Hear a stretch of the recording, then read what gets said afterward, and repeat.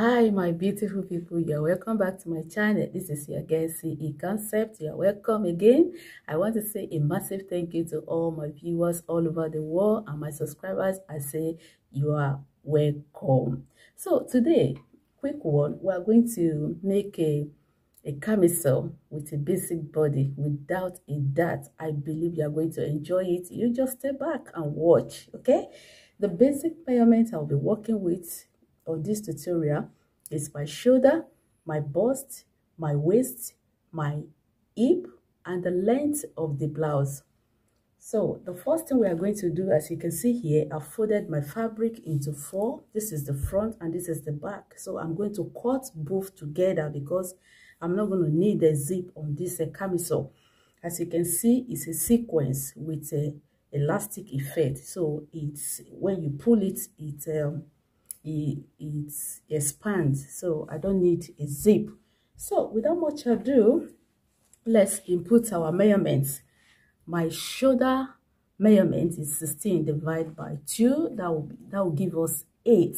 But remember, this is a camisole. I don't want the shoulder too wide. So I'm going to take away 1 inch from the shoulder line, which make it, uh, makes it seven and a half. So I will put seven and a half here, as you can see.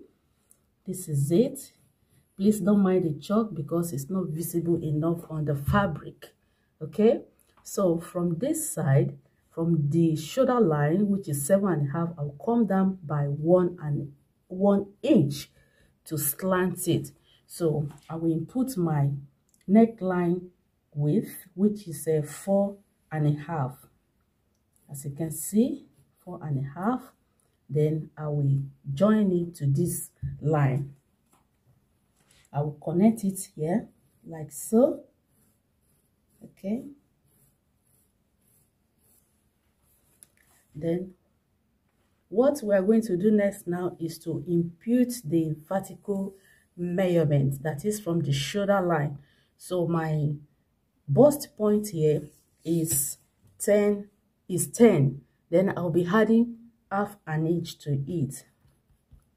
Half an inch. That half an inch is when you want to uh, uh, when you want to join the shoulder together it will only affect the half an inch you added to it. So the bust line measurement will remain okay?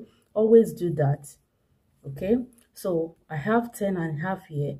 My waist, my waist, uh, my waistline is 17 and a half, including the half an inch. This is the line.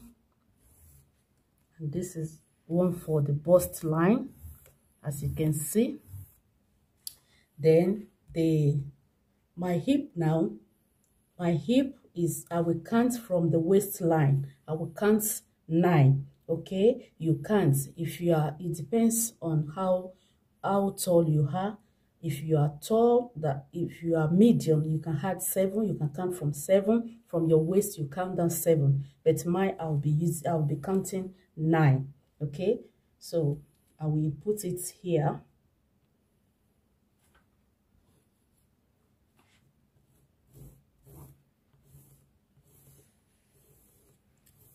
Seven and a half 27 and a half.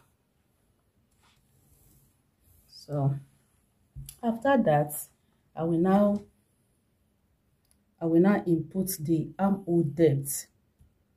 How do you get your armhole depth if you don't if you find it difficult to get the round armhole what you do is that you take your bust measurement you divide it by six and you add one and a half to it. Mine is nine and a half this is it here.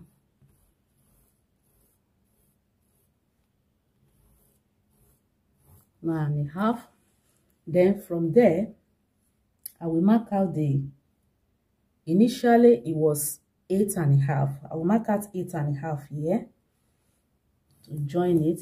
That will be our chest line believe you can see eight and a half.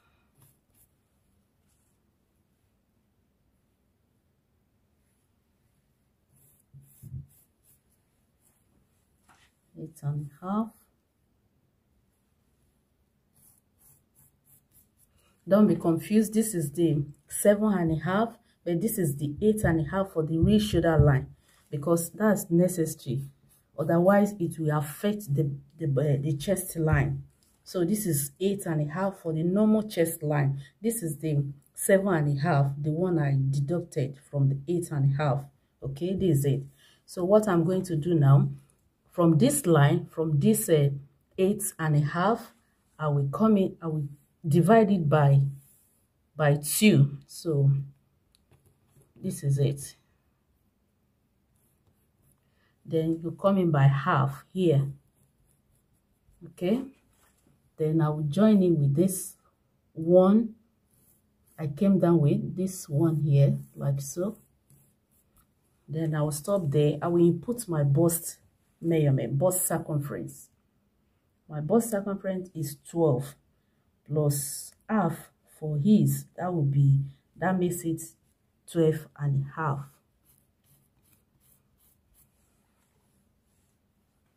Twelve and a half then my waist circumference is 11 11 11 plus 1 for his that makes it 12 here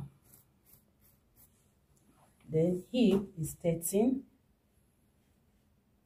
plus 1 plus 1 for each plus 1 for his that makes it 14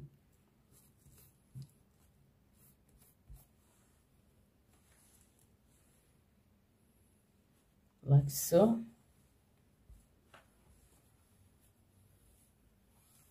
I believe you can see it. Sorry. It's the fabric. Then I will connect the the point together like so.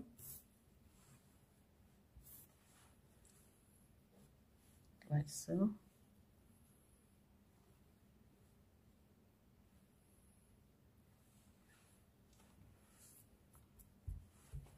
so I'll connect this armhole to the front armhole.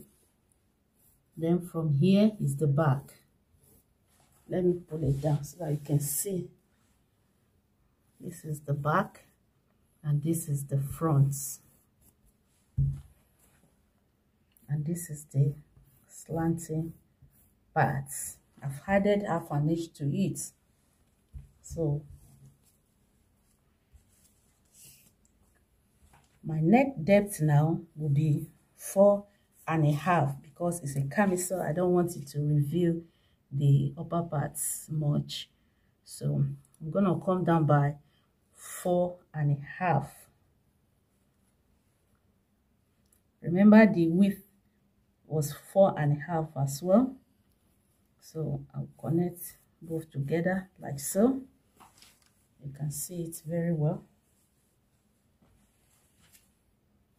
like this then how do you curve your neck depth. From this angle, you can come in by half an inch if you like, but it's not necessary. Then you connect the one and a half. From this angle, you come in by one and a half, like so, like this. Then you connect this point and this point to this point. We are done. That's it.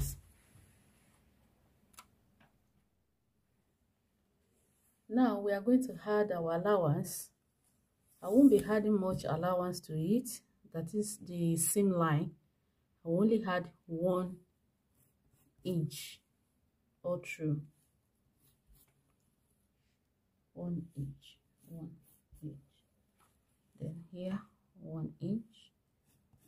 Then connect it together like so. you can see it then this end if you want to make the the bottom the bottom part of the blouse curvy you can go up by one and a half from the down part like so then you connect it to the middle like so from this middle like so. Let's in this case i will not be needing that because just a so you curve it like this from this middle like so. It's mine i will leave it this way. I'm not gonna curve the bottom part. So the next thing now is to cut.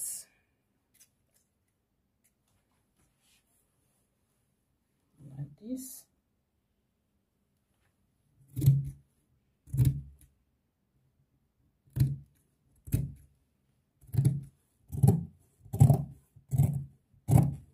remember i'm cutting the back and front together because i'm not going to add the i won't be adding zip to it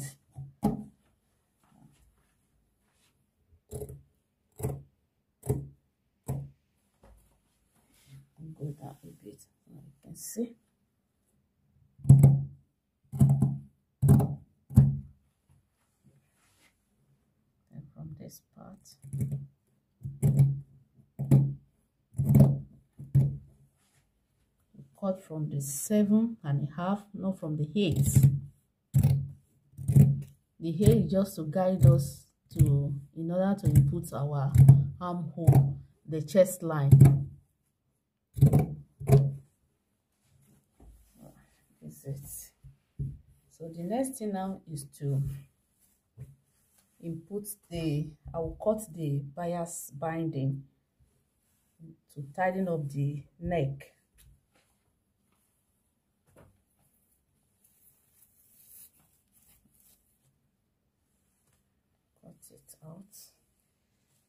front and the back together.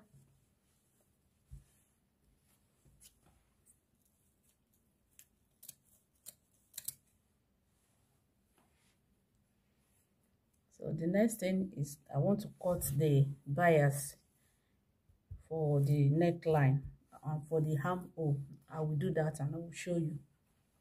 Yeah as you can see this is the neckline for both and the back, the bias binding, I mean, to tighten up the neckline. This how it's going to look. So, this for the armhole.